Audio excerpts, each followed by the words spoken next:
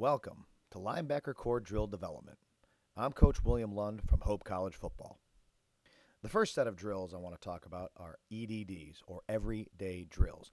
These are drills that we conduct on a daily basis, and they're the fundamental movements that we will see throughout practice, throughout game time, in any situation our linebackers are in. Each drill name becomes a coaching point that our players can identify with as they assess and evaluate themselves on video. The first drill in our sequence of everyday movements is known as step gather.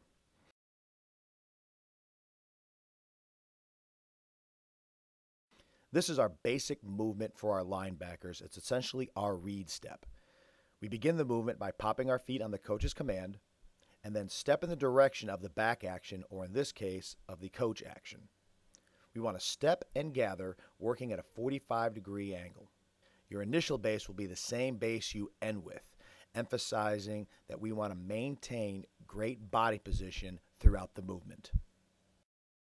We want to maintain body position as well as proper foot placement to maintain balance.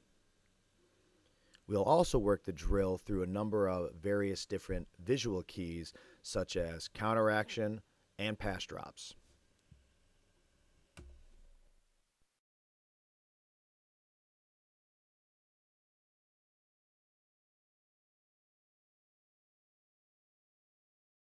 The next movement in our everyday drills is known as shuffle. This is the most basic movement we use throughout our linebacker play. We want to make sure that our toes are pointed forward, that we are working off the inside balls of our feet. As we shuffle, we want to make sure that we are knock kneed. We want to create power angles by shifting our knees inward towards our midline. Our feet should work to no closer than hip width. We want to make sure that our shoulders and head are level with good bend in our ankles, knees, and hips. We want to make sure our toes are pointed forward and that we are working off the inside balls of our feet. Working to our knock kneed position will help create our power angles so we can quickly change direction. A common mistake you'll notice from your players is the tendency to point their toe outward as they shuffle. This issue will make it more difficult to change direction with your tendency for your hips to track the path of your foot. The next movement of our everyday drills is known as stutter.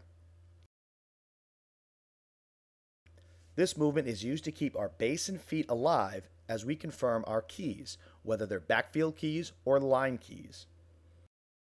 We want to make sure our toes are pointing forward, that we are pushing off the inside balls of our feet, and we want to make sure that we are not knee creating power angles by shifting our knees inward. Our feet should be no closer than hip width apart, with our shoulders and head level with good bend in our ankles, knees, and hips. The premise of this movement is to make sure that our feet are alive as we try to confirm our keys. Far too often, you'll see linebackers jump at the first thing they see without confirming their keys. This movement allows us to keep our feet alive as we confirm and reconfirm our keys without getting out of position. The next movement in our everyday drills is known as two step.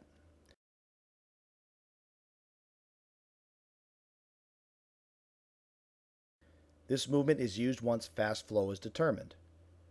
We want to work the same coaching points of pointing our toes forward, working off the inside balls of our feet.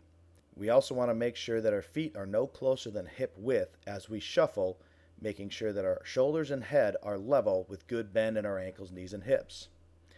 After two shuffle steps, we will lateral run, working to keep our shoulders square throughout the movement, and then after 10 yards, we want to plant and burst downhill. I use this drill to determine our player's ability to transition from a shuffle to a lateral run while maintaining square shoulders, as well as our ability to transition and burst towards the line of scrimmage.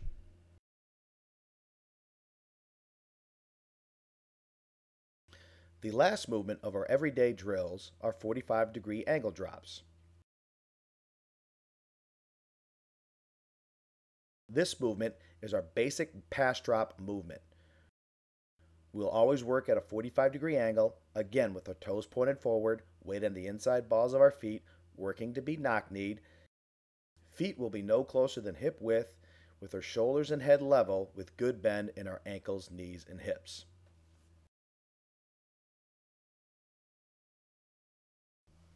This is a foundational movement for our linebackers because we shuffle to depth in the majority of our zone coverages.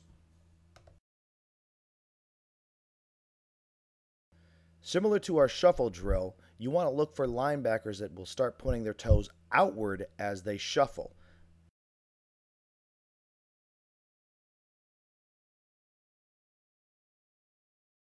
The next few drills will focus on developing our strike to help us disengage from blockers. The first drill we'll talk about is called quick hands. In describing this drill to my players, I use the analogy of boxing. Boxers like to snap a jab, they have relaxed arms, and they're very quick to their target. We begin this drill with our knees and toes in the ground.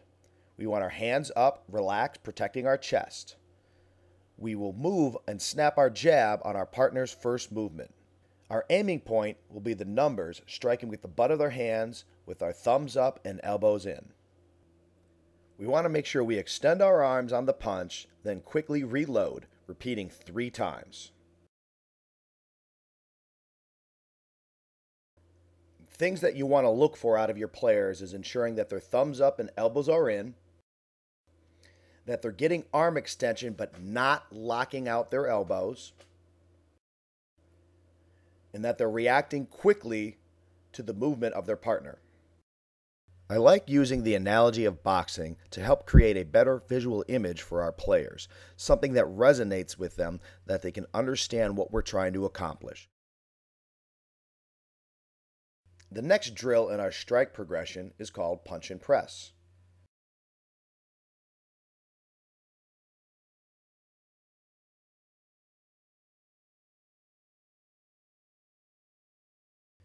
We begin this drill just like quick hands, with our knees and toes in the ground.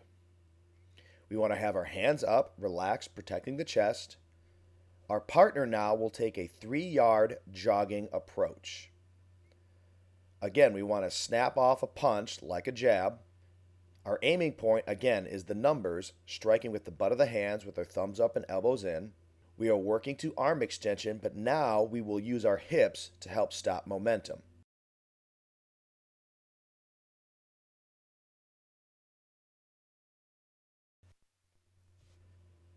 In this drill, I like to tell my players that they have to stop the momentum of their partner and that their partner has free reign to jog right through him.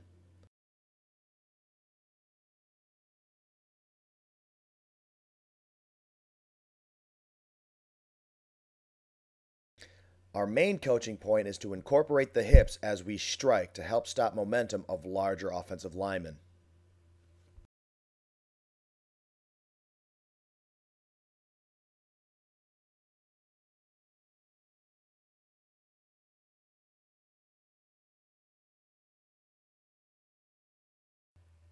This next drill is known as hip drop. This drill was born out of a clinic session with a defensive line coach when discussing loading of the hips. We begin the drill with your partner offset from your midline. On the coach's command, you want to take a quick jab step, splitting the partner's crotch. As you step, drop your hips, similar to what you would do in a power clean. We want to punch inside the chest like you would in your quick hands drill. After your jab step, your feet should be balanced, not much greater than toe to heel.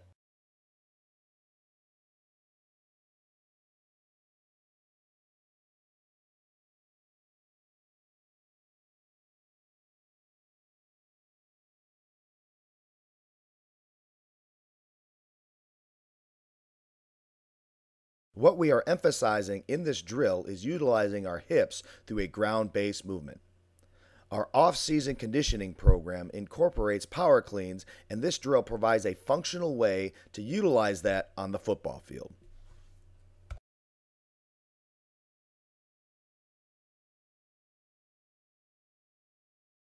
The next drill in our progression is hip drop, run your feet. The drill is set up just like the hip drop drill. We want to offset from our partner. We want to make sure we take a quick jab step on the coach's command, splitting the crotch of our partner. As we step, we want to drop our hips like we would in a power clean. We will punch the inside part of the chest like we would in our quick hands drill. And the variation of this drill is we want to run our feet on contact. By running our feet on contact, we now incorporate this drill into a game type situation. The following drill in our progression is called hip lift. This drill incorporates all the movements we have previously talked about from our quick hands to our punch and press to our hip drop to our hip drop running of the feet into a full speed movement. It's important in the hip lift movement that your partner puts his hands on top of the shoulders as the linebacker approaches and drops his hips looking to run his feet throughout.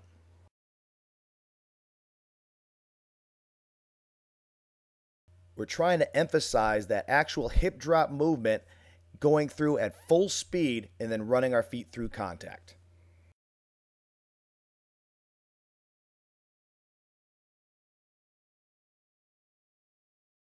A couple coaching points that you want to emphasize with your linebackers are you want to make sure that on approach that they split the crotch of their partner without widening their base.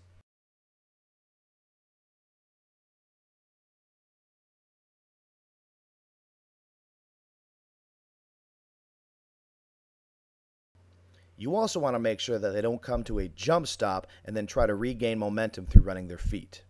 We want to make sure it's one continuous movement.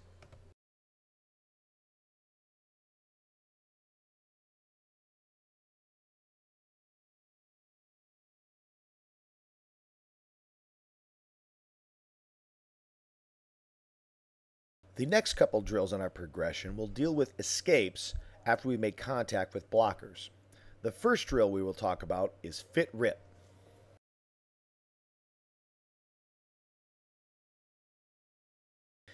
We will begin on our knees with our hands on our partner's chest plate. We want to extend by snapping our arms and ripping your backside arm up bicep to ear. We want to make sure after our rip, we want to follow through all the way to the ground.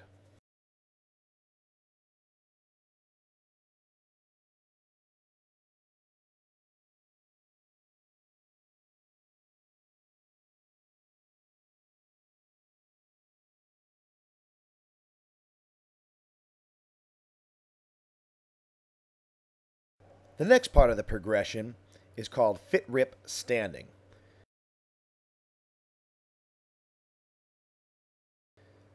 Now we'll work from a ground based position where we'll start from a two point stance with our hands on our partner's chest plate. We will then snap our arms, running our feet as we extend. We want to rip our backside arm, bicep to ear, and then step through the side, clearing the blocker.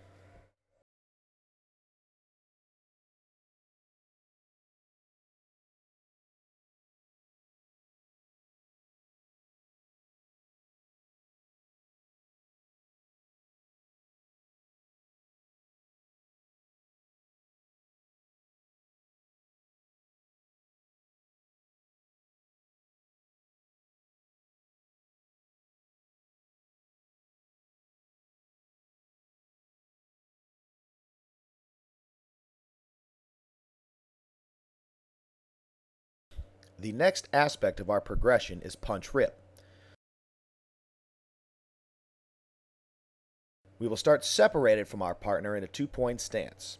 On the coach's command, we will take a quick jab step, splitting the crotch. The first part of this movement will be very similar to our hip drop and hip lift drills. We want to punch, snapping a jab like in quick hands, running our feet on contact. We want to rip our backside arm, bicep to ear, and then step through clearing the blocker.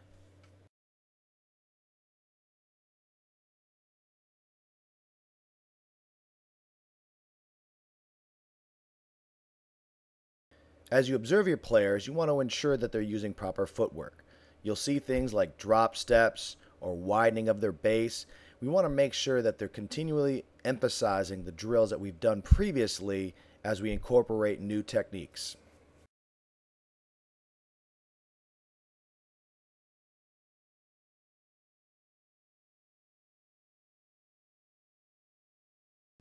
One drill that you want to incorporate in your block destruction is steer the ear. This drill will work on defending against cut blocks.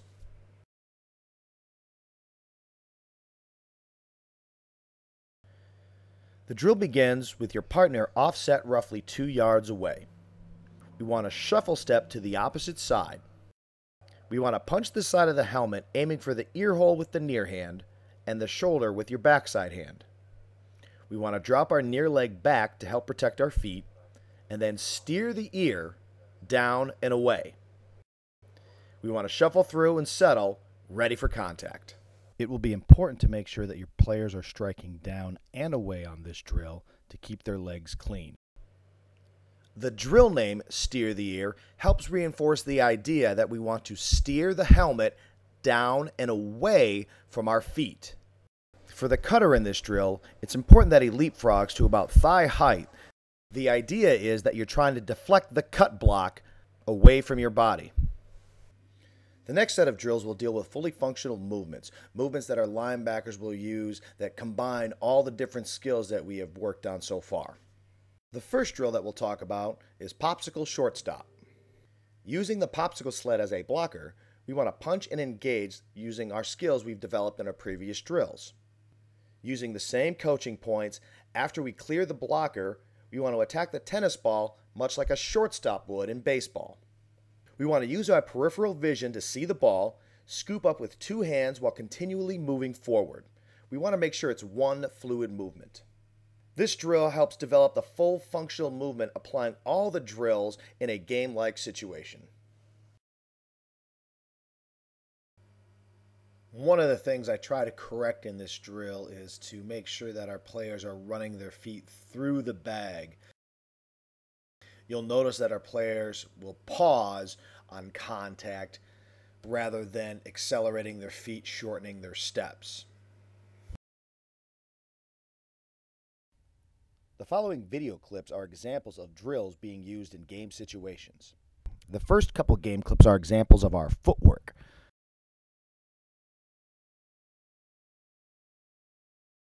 I make an effort to point out and correct using the drill names to reinforce what I expect out of the players, but also to make sure that they understand what they need to work on to improve.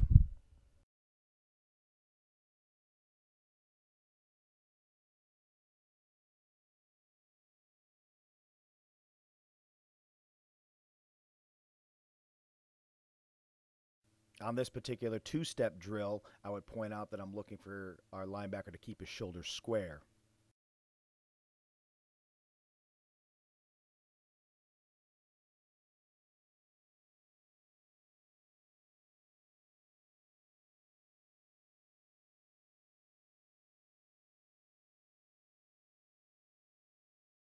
Again, the hip drop is a subtle movement, much like a hang clean.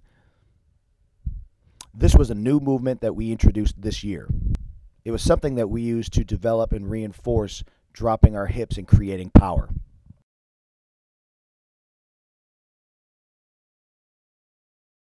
Again, you'll see there's a combination of drills in many of these game clips.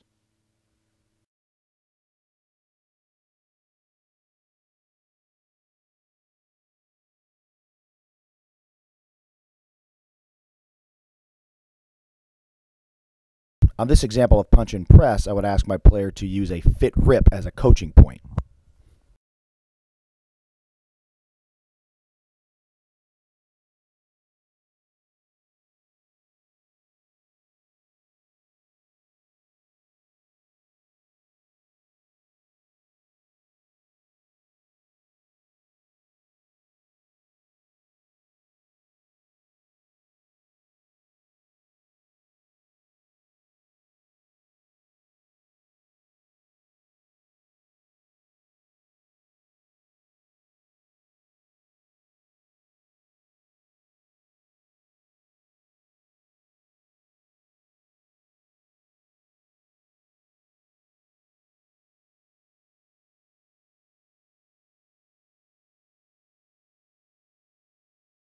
The next are examples of our cut drill, steer the ear. Here you'll see number 95 on the left, defend a cut block from a lineman.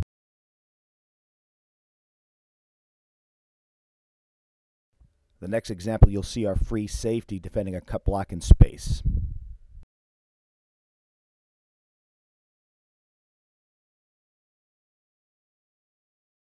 The following drills incorporate our base functional movements as part of the drill. The first drill we will review is our drop drill.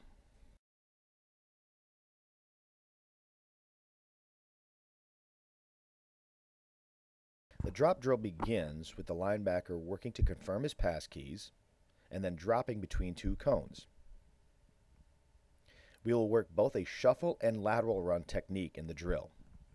We will settle at depth between the cones and work off the quarterback intentions, keying the front elbow. We will break and burst when the hand comes off the ball and then catch the ball to complete the drill. You can work the drill with a shuffle or a crossover run. The example shown is of a crossover run.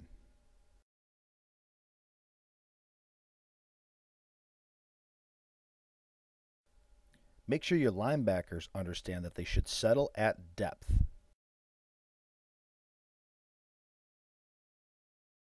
Here are some examples of the drill in game situations.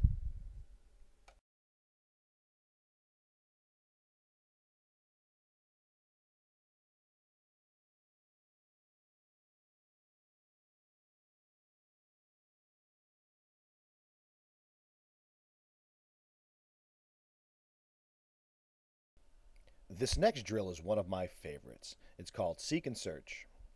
In this drill, we're looking to work our peripheral vision as well as our eye transition in pass coverage. Starting on a line, coach will give a command. The linebacker will pop his feet, and once he gets his pass key confirmed, he will drop at a 45 degree angle between the quarterback and the receiver. You can shuffle or lateral run in this drill, working on both techniques.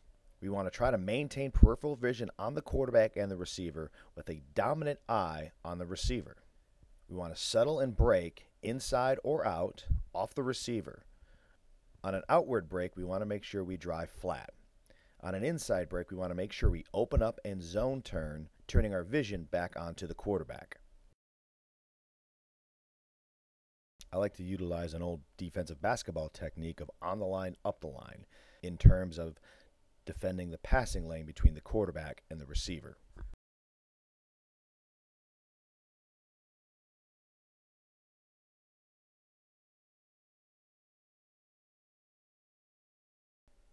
Here are some examples of seek and search in game situations.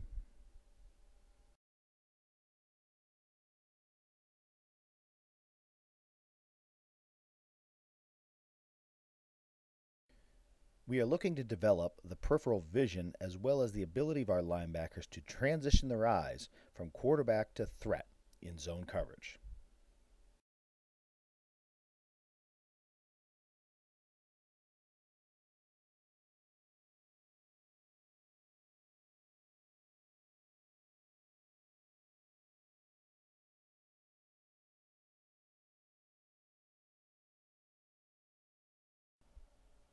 The next drill is the reroute. In this drill, we want to teach proper collision technique and pass coverage. I draw a comparison in this drill to taking a charge in basketball minus the flop. Using a yard line, the linebacker starts at the bottom of the numbers. He wants to open and drop with a 45 degree angle shuffle. He wants to work to an intersection point to collision the wide receiver. We want to make sure we're thick and square and absorbing to disrupt his route. After the collision, we want to roll the hole or roll inside to our zone and making sure we transition our eyes to the QB.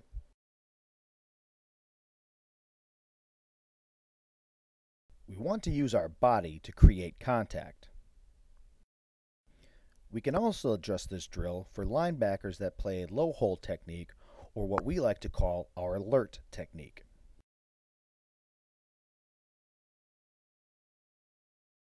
Here are some game examples of the reroute drill as a zone player.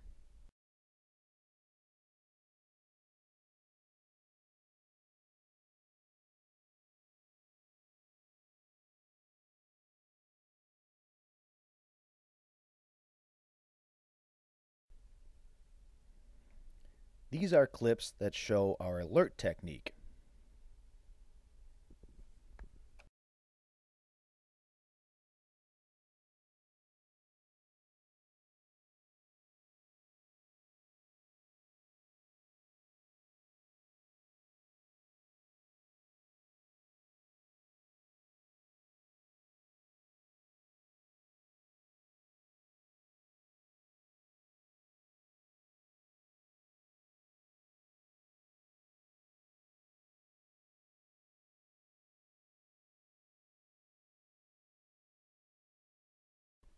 The next drill is box tackle. I prefer to teach tackling from a leverage standpoint. I will teach the contact portion, but I feel the majority of missed tackles are because of poor angles and poor leverage.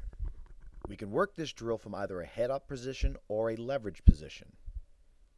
We want to start in a good body position, and we want to approach the ball carrier closing the space and distance between you and him. We want to keep our feet alive, slightly wider than hip width, but no wider. We want to allow the ball carrier to make his cut, and then we want to lateral step, working to stay square on him. Once his direction is declared, we want to shoot our guns.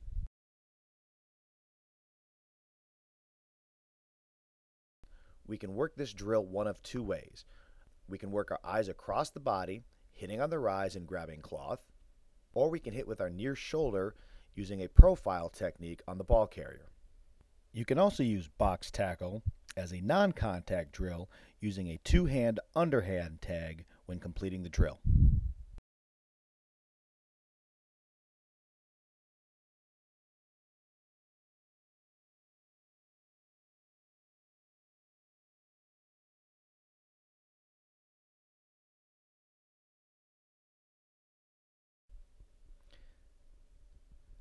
The key is to be able to gauge the distance keeping our eyes up and maintaining a good body position at contact.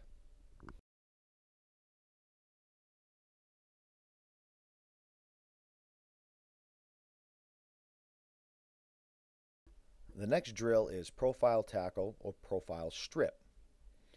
This drill we will work more of our contact aspect of tackling. The linebackers will each start about two yards away from an agile bag. The drill will begin when your partner grabs the football.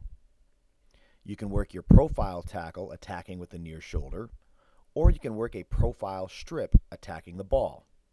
This drill works in combination with a number of previous drills in a close quarters setting.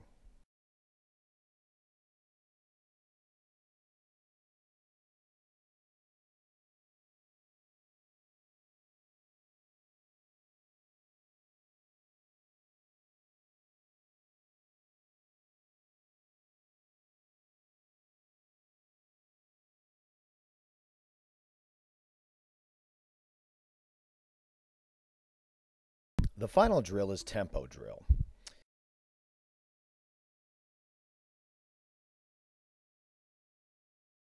This is a movement working our lateral run and shuffle techniques, looking to maintain leverage on the ball carrier. We want to work to keep our shoulders square to the line of scrimmage as we work our lateral run. All the while, we want to make sure we maintain good body position throughout the movement. During this drill, we want to try to maintain a shuffle for as long as possible. We can work a crossover run with a quick burst step, but we want to settle back into our shuffle to be under control.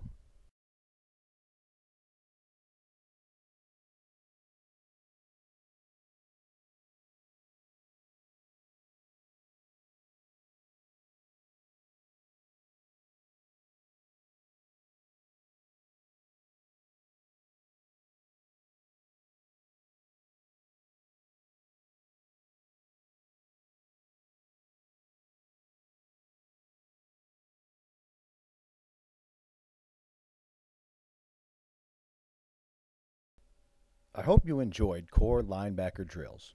Should you have any questions, feel free to contact me with the information provided.